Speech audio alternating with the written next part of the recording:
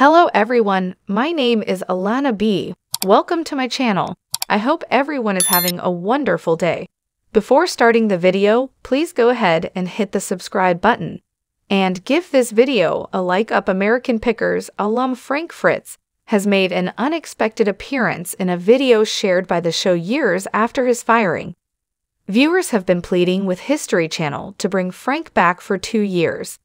The American Pickers Facebook account shared footage from an old episode featuring Frank, 57, and current star Mike Wolfe looking at cars together. Frank was fired by the network nearly two years ago and has been battling major health issues. He last appeared on American Pickers during a March 2020 episode, taking time off to recover from back surgery shortly after which left him with 185 stitches and two rods in his spine. During his time off the show, Frank lost 65 pounds. He also told the U.S. Sun that he entered rehab to be treated for alcohol addiction for 77 days. Frank revealed his feud with co star Mike during his 2021 interview with the U.S. Sun. Frank said at the time, I haven't talked to Mike in two years. He knew my back was messed up, but he didn't call me up and ask how I was doing. That's just how it is. The show is tilted towards him 1000%. I can't even bend that far down to show you how much. That's fine. It's like you've got Aerosmith and there's Steven Tyler and he's the front man. I found my spot. I'm second and he's number one on the show. That's no problem with me. Maybe he does have a problem. He even confessed. I think Mike wants to get his brother Robbie in there to replace me. I don't know why he's behaving like that towards me. Fans often seek updates from Mike, 58, and have been begging him and History Channel to bring Frank back to the show. In the video, Frank and Mike were seen digging around a massive property filled up with cars, motorcycles, parts, and more. During the pick, they uncovered an Ace four cylinder motorcycle and Mike was immediately taken with it.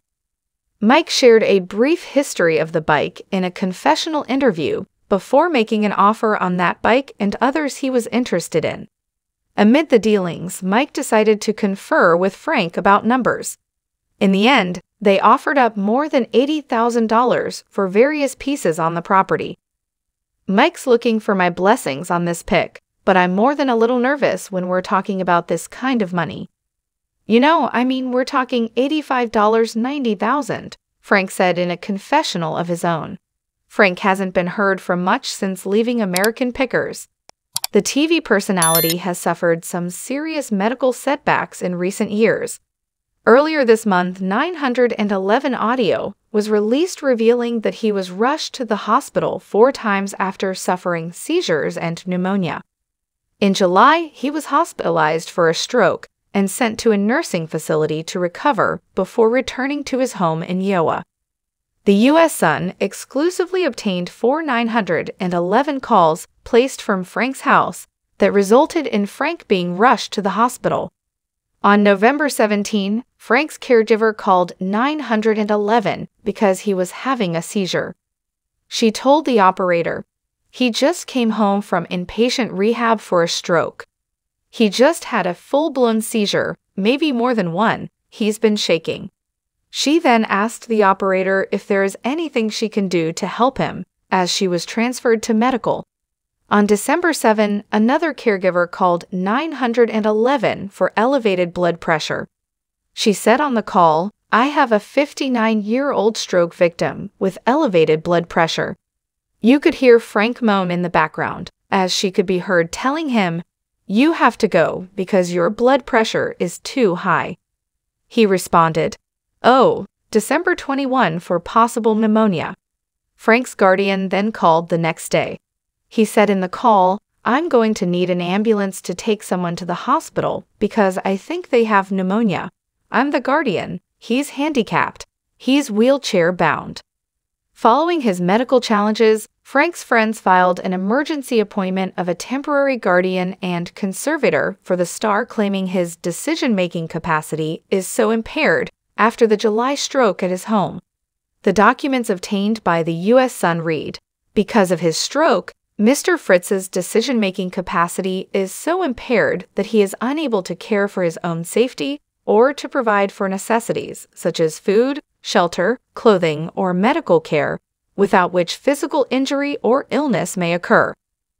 Mr. Fritz's decision making capacity is so impaired that he is unable to make, communicate, or carry out important decisions concerning his own financial affairs.